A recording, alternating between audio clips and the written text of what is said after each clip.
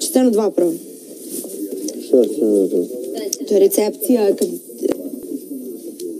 Ali svi treba bude tu da bude gužva kao ispred sve. Da, ali oni su ti koji pričaju. Da. Što ko... Pa piše tu je. Hm? Pa piše tu ko se priča. Nije ja se sredio. Da, evo ti koji sam nabrala. Napisala sam ja, zato sam ja napisala sve koji pričaju. Ali svi treba da budu tu. Dobro, Šta će da budu. to je unutra. Moraju da vuku ono šta će, šta, su, šta će obući u prvoj sceni. Da. Znači nešto letnje. Da. Nešto letnje. Da. Onda ćemo sutra...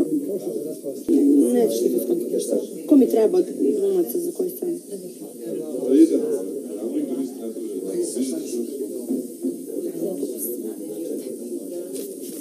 Welcome drink.